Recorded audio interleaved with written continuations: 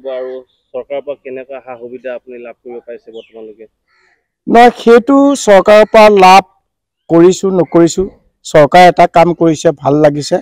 অসমৰ মুখ্যমন্ত্ৰী হওক ভাৰতৰ প্ৰধানমন্ত্ৰীয়ে ভাৰতবৰ্ষত থকা ফৰেষ্টকেইখন সংৰক্ষণ কৰিছে। আৰু মই নিজেও প্ৰধানমন্ত্ৰীলৈ চিঠি দিছোঁ আহমেদাবাদত থাকোঁতে ভূপালত যে ভাৰতবৰ্ষৰ ফৰেষ্টকেইখন সংৰক্ষণ কৰিয়ে ডেভেলপমেণ্ট কৰিবলৈ কৈছে। ফৰেষ্ট ধ্বংস কৰি ডেভেলপমেণ্ট কৰিলে ভাৰতলৈ বহু প্ৰত্যাহ্বান আহিব যাৰ বাবে আমি এতিয়া বিশ্বৰ ভিতৰত জনসংখ্যা বেছি আছে। মানুহটো আৰু বেছিয়ে হ'ব আমাৰতো জেগা নাই। গতিকে যিমানবিলাক ক'ভিডত মানুহ মৰিছিল আপোনাৰ অক্সিজেনৰ অভাৱত মৰিছে অন্য কাৰণে মৰা নাইতো।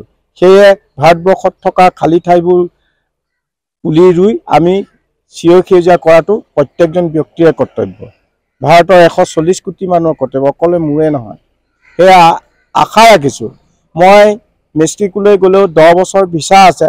গ'লেও মানে তাত তামোল নাৰিকলটো সাগৰৰ পাৰত হ'ব। আৰু কিছুমান গছ এবিধ দুবিধ গছ আছে। আমাৰ দৰে ভাৰতৰ গোটেই জৈৱ বৈচিত্ৰ্যটো না তাত নাই।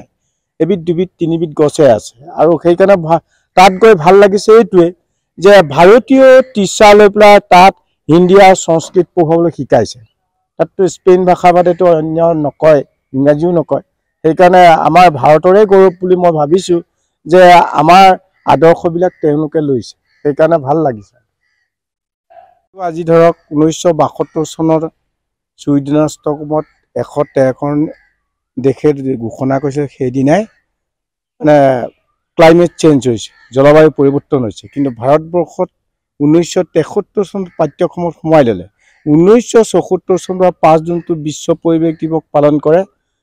দেখা পোৱা যায়। ভাৰতৰ বিভিন্ন স্কুল কলেজ ইউনিভাৰ্চিটিবিলাকত গৈ দেখিছোঁ একেটা গাঁততে বিশ্ব পৰিৱেশ দিৱস হ'ল। গছ এজোপাও নাই।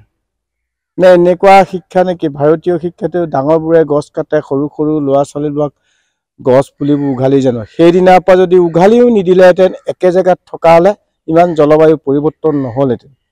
সেয়ে শিক্ষাক অগ্ৰাধিকাৰ দি এনভাইৰমেণ্টেল ছায়েন্স পৰিৱেশ বিজ্ঞান এল পি স্কুলৰ পৰা দিব লাগিব। পৰিৱেশ শিক্ষক দিব লাগিব পৰিৱেশ ইউনিভাৰ্চিটি দিব লাগিব। যেতিয়া এটা ল'ৰা এল পি স্কুলত নাম লগাব এজোপা গছ ৰুব সি প্ৰেক্টিকেলি পাঁচ বছৰত ডাঙৰ কৰিব লাগিব। তাৰ অক্সিজেনটো সি নিজে ল'ব। পিছৰ পাঁচ বছৰত আকৌ এজোপা ৰুব বিশ্ববাসীক দিব। এতিয়া ভাৰতবৰ্ষত বা পৃথিৱীত কিমান ল'ৰা ছোৱালীয়ে এডমিশ্যন ল'লে? এবছৰত কিমান হ'ব দুবছৰত কিমান হ'ব তিনি বছৰ দহ বছৰত অল অভাৰ ৱৰ্ল্ড গ্ৰীণ হৈ যাব। সেইখিনিয়ে সেইখিনি ল'ৰা ছোৱালীয়ে ছাত্ৰ ছাত্ৰীয়ে নতুন পৃথিৱী গৈ সিহঁতে ৰোৱা গছ কোনোদিন কাটিব নিদিব। সিহঁতৰ গছৰ ওপৰত পৰা চৰাই মাৰিব নিদিব। সিহঁতৰ গছৰ তলত থকা জীৱ জন্তু সেই আদিম যুগৰ পৰা সংৰক্ষণ নকৰা তেওঁলোকে পাৰিব।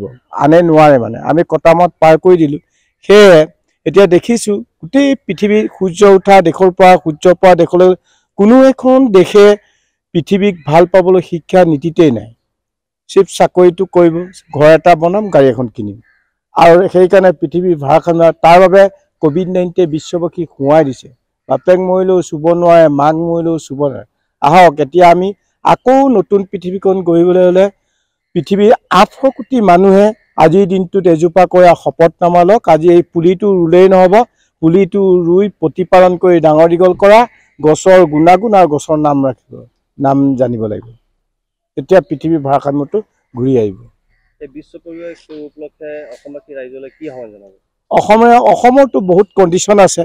অসমৰ এতিয়া পানীৰ অভাৱ হৈছে খেতি কৰিব পৰা নাই বৰষুণ কমি গৈছে আৰু বিশেষকৈ ব্ৰহ্মপুত্ৰৰ পানী আজি তিনি বছৰত বহুত তললৈ গুচি গ'ল।